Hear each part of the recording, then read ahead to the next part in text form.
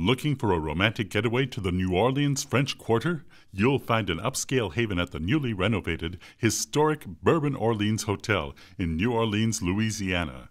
As you enter the lobby, you'll experience the unmistakable flavor of New Orleans. Your charming guest room, designed for comfort and elegance, features a pillow top bed, marble bathroom, and custom wide blade plantation shutters. All guest rooms overlook the French Quarter or the hotel's stunning courtyard with heated saltwater pool. For a romantic escape, you and your partner will be delighted with the Bourbon Orleans Hotel, a timeless treasure in the heart of the French Quarter.